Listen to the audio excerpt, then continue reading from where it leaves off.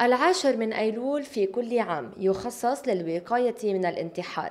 في لبنان وفق معطيات عام 2014 شخص كل ثلاثة أيام يخسر حياته بالانتحار. الآن أصبحت المعادلة شخص يخسر حياته كل 2.1 يوم وشخص يحاول الانتحار كل ست ساعات.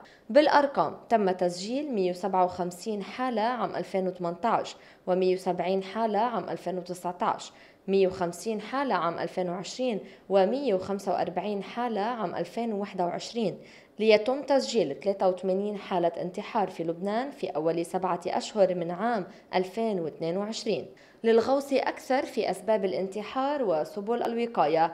بي أن زارت الأخصائي النفسي الدكتور جمال حافظ الذي توجه برسالة إلى كل شخص تخطر الفكرة على باله. أكثرها بتصير عندما يصل الإنسان لحد ما بقى عنده خيار بتكملة الحياة للإنقاذ الذاتي من الواقع السلبي اللي هو عايش فيه أوكي؟ فيعتقد كمان هون إنه إنهاء حياته بتنهي المشكلة بحد ذاتها. فزادت كثير الانتحارات اللي ما فينا نضيفها للانتحارات العادية. العادية عادة هي بين بين 5 و11 أو 12% آه، آه، بمجمل الانتحارات ما بين الأمراض وما بين الانتحارات العادية. أول شغله أول شغلة من المفترض إنه يعملها الشخص يلي يلي مسود الدنيا بوشه. قبل ما يوصل لليأس حالة اليأس إنه يصرح بما يشعر. إذا ما بدي أقول آه، زيارة الطبيب النفسي أقله المحيط. تفكر بالانتحار آه، الفئة ما بين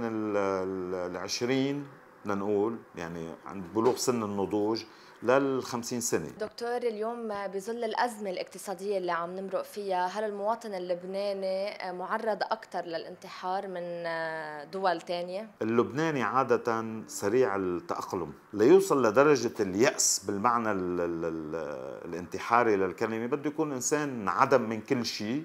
الانتحار قرار بإنهاء الحياة ولكن تنتهي حياة كثيرين مع هذه الفكرة. فتذكروا أحبتكم واحبوا حياتكم. رغم قساوة الحياة وصعوبة الظروف يبقى الانتحار جريمة. تذكروا دائما أن على هذه الأرض ما يستحق الحياة. لارا صالح انبيئا